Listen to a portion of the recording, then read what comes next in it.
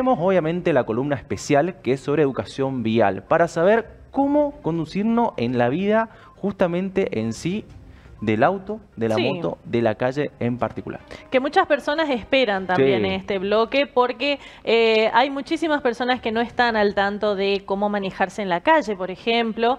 Y en este caso nosotros les ofrecemos, gracias a Pablo Heikel, él, él es jefe de Educación Vial de Vialidad Provincial, él nos ofrece justamente todas las recomendaciones a tener en cuenta para trabajar los excesos, en este caso, los excesos de velocidad en las calles. ¿Cómo estás, Pablo? Buen día. Buen día. Y Acá, fresco. en la lucha. Fresco, ¿no? Fresco, Muy está frío. fresco. ¿Puede incidir o no al manejar? Sí, por Frío. supuesto. La climatización es un sistema de seguridad activa. Viste que cuando hace mucho calor, si vos no tenés un buen aire acondicionado, te incomoda. ¿no? Claro. Y lo mismo el frío, te pone, este, te estresa, ¿no? Son, este, por eso estar, tener un- una buena temperatura, una buena climatización ayuda a la conducción segura. Bien. Mirá vos, eh, ese da- yo pensé que era únicamente para, para, para comodidad nomás. Claro. Por ejemplo, el aire acondicionado, ¿no? Que eh, nosotros nos, lo tenemos que utilizar en todo nuestro verano prácticamente que es tan largo. Pero en este caso nosotros nos vamos a enfocar cuáles son las velocidades que tenemos que manejar en las calles de nuestra ciudad. Así es, fíjense ustedes, en el Sí. mundo, ¿no? Eh, el exceso de velocidad es la causa número uno de muertes. Sí, Eh, y digo el exceso de velocidad porque, digamos, cada vía, cada tipo de, de camino tiene una velocidad máxima ¿no? permitida. Y esto tiene que ver con las tolerancias, porque vos podés tener el mejor sistema de seguridad activa en tu vehículo, los mejores sistemas y dispositivos, pero nuestro cuerpo sigue siendo frágil. Fíjense que Claro. El primer accidente, siempre comento esto, ¿no? El primer accidente de tránsito fatal ocurrido en la historia fue a 7 kilómetros por hora, ¿no? claro, ¿no era entre dos bicis? No, no era ese No, entre un dos. auto eh, que atropelló una, una señora que iba con su hija, ¿no? Y murió la mamá, digamos, ¿no? A 7 kilómetros A por 7 hora. kilómetros por hora ya este, eh, la atropelló, ¿no? Y generó la muerte de esta persona. Que podés incluso hacerlo hasta corriendo. Claro. Claro, exacto. Y fíjense que nosotros nos acostumbramos, eh, nuestro cerebro se acostumbra a, a, digamos, a la tecnología y la velocidad, pero nuestro cuerpo sigue siendo frágil. Claro. ¿no? O sea, nuestro cuerpo tiene tolerancias biomecánicas, se llaman, que no cambiaron. ¿no? Cambió la tecnología, entonces cada vez podemos ir más rápido, pero nuestro cuerpo, digamos, eh, tiene esa misma tolerancia. ¿no? Y yo les pregunto a ustedes, ¿qué piensan ustedes? ¿La velocidad es lo que mata? Porque a veces se comenta eso, ¿no? Se dice así, la velocidad mata. ¿Vieron? Sí, Para mí, la- la imprudencia. sí, iba a decir lo mismo, la imprudencia a la hora de dar velocidad al vehículo, ¿no? Claro, en realidad es eh, por ahí un concepto que yo a propósito es como una pregunta Claro. con trampa, porque lo que te mata en realidad es pasar de una gran velocidad a cero en un instante.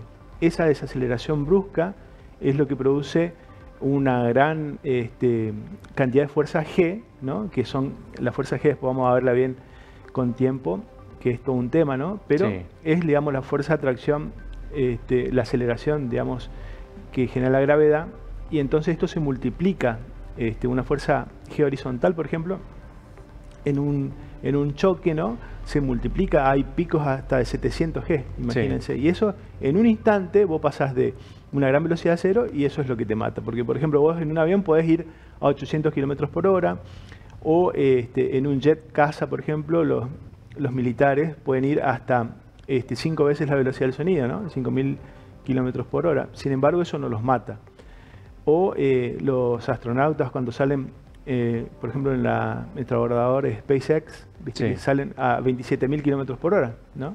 Exacto. Entonces la velocidad no, lo- no los mata, sino lo que lo mataría es pasar de esa gran velocidad este, en un choque a cero en un instante, ¿no? Es interesante eh, tenerte, Pablo, porque en el día de ayer nosotros también anunciamos una noticia que sucedió en Rivadavia de Liniers, o aquí en la ciudad de o en la Resistencia. rotonda de la Villa Monona. Y en la rotonda de Villa Monona, exactamente.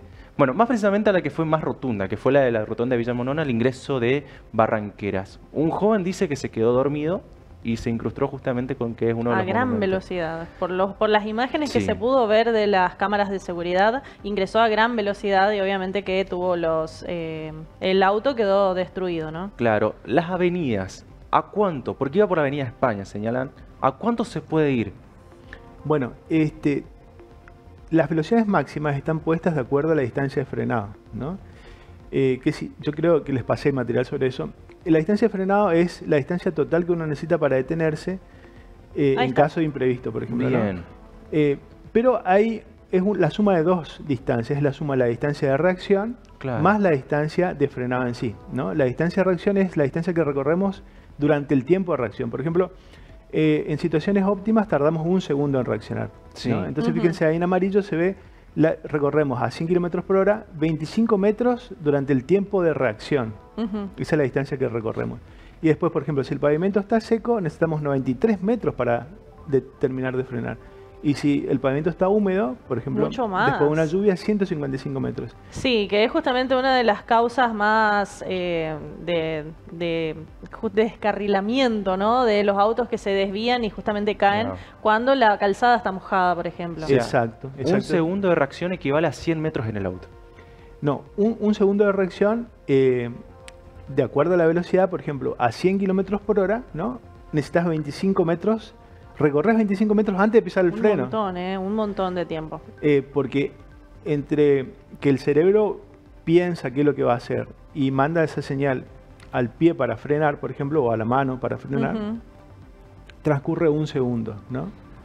En situaciones óptimas, pues si uno está cansado, si es, eh, por ejemplo, trabajó todo el día, ¿no? Nuestro tiempo de reacción aumenta. Claro. O si consumió alguna sustancia. es muy cierto, sí. Eh, entonces, fíjese, bueno, vos me decías 60, a 60 eh, eh, porque en avenidas la velocidad máxima es 60, ¿no? En general en Argentina. Y en, este, ¿En rutas? En rutas es 110 para autos, moto y camioneta, pero por ejemplo 60, acá en algunas avenidas tenemos 50. Sí. Que para mí es correcto, porque está probado que, digamos, este, por ejemplo, se cruza un peatón por mitad de calle en una avenida, por ejemplo, lo vas a terminar atropellando si superás los 60. Sí. Y si lo impactas a más de 30 es fatal. ¿No? Exacto. Por eso en muchas ciudades de, Europa, en el microcentro, la, la, velocidad máxima a la que podés ir es 30 km por hora. ¿no? Claro. Porque un atropello a más de 30 km por hora eh, o es fatal o tiene lesiones gravísimas, digamos, ¿no? de acuerdo a cómo sea el impacto. Eh, y esto aplica tanto en autos como en motovehículos. Claro, exactamente. En todos, los vehículos. Y es increíble que todavía siga habiendo peatones atropellados. O sea, hay gente que este, queda con graves lesiones o muertes a causa de atropellos, ¿no? Y no siempre es la culpa de, que el peatón se cruzó por cualquier lado, sino es por el exceso de velocidad. El exceso de velocidad, sí, aunque estando también a 60, uno eh, eh, va rápido. A esa velocidad para mí es rápido. Claro, Yo que lo veo desde afuera, ¿no? Lo que pasa es que es una velocidad inadecuada para la vía, porque es excesiva para ese tipo de camino, ¿no? Por ejemplo, es excesivo para la avenida, es excesivo para la calle. Por ejemplo, en la calle la velocidad máxima es 40. Sí, ¿no? sí, sí, sí. Eh, porque también fíjense, ustedes, para hacer un cálculo rápido, ¿no? Eh, dividen la velocidad a la que van, dividido 3,6, que es un factor de conversión que resulta de pasar los kilómetros a metros y las horas a segundos, ¿no? Entonces, por ejemplo, si dividen 40 dividido 3,6 le da 11,1111 periódicos. O sea, vos recorres en un segundo, recorres 11 metros y un poquito más, digamos, ¿no? Casi en 12 un segundo. A 40 kilómetros por hora haces porque eso es importante, es una forma de visualizarlo, ¿no? Yo a 40 kilómetros por hora en la calle hago 11 metros en un segundo, por segundo. Claro.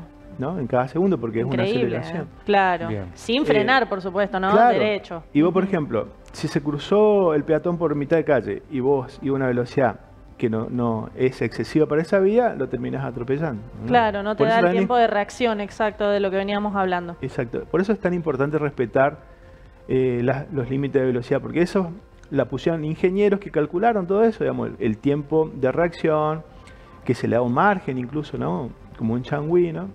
Este, eh, la distancia que uno necesita para frenar. Sí. Eh, si bien varía de acuerdo al tipo de vehículo, ¿no? Pablo, Por lo general es eso. Para ya ir cerrando la última pregunta, al menos de mi parte. En el micro y macro centro, ¿a qué velocidad más o menos ir prudente? Hay horarios picos que realmente es imposible transitar. Horarios pico creo que a 10 va uno, ¿no? Pero es imposible, alrededor de la Plaza 25 de Mayo también. ¿A qué velocidad es óptima para que uno pueda ir calmo, tranquilo? Bueno, lo que dice la ley de tránsito es que todo conductor debe circular siempre a la velocidad precautoria. ¿Qué quiere decir eso? Eh, que básicamente es un promedio entre la máxima y la mínima, ¿no? Por ejemplo, la mínima para las avenidas es 30. Claro. Sí. Entonces, vos a 40, 45 kilómetros por hora estás circulando a una velocidad prudencial, que quiere decir que para ese tipo de vía vos vas a poder reaccionar y frenar a tiempo ante cualquier imprevisto, ¿no? Sí. O por lo menos tenés tener un margen. Porque si vas muy jugado, que eso es lo que pasa siempre, vos vas apurado, vas ahí al borde, este, terminás impactando con el vehículo que va adelante, porque no tenés distancia para detenerte, o a alguna persona o el motociclista, ¿no? Eh, o el mismo motociclista, ¿no? Que va apurado, por ejemplo, el motomandado, ¿no? Este, no es consciente de esto del tiempo de reacción. ¿no? Claro. Totalmente. que este, bueno, cuando vos te das cuenta, ay, me choca, ya me, te chocó. Ya digamos, te chocó, totalmente, es sí. así. Es así. Pablo, muchísimas gracias nuevamente Gracias por traernos tanta información tan importante para aquellas personas que tienen que circular todos los días en las calles de nuestra ciudad. Muchísimas gracias. Gracias a ustedes.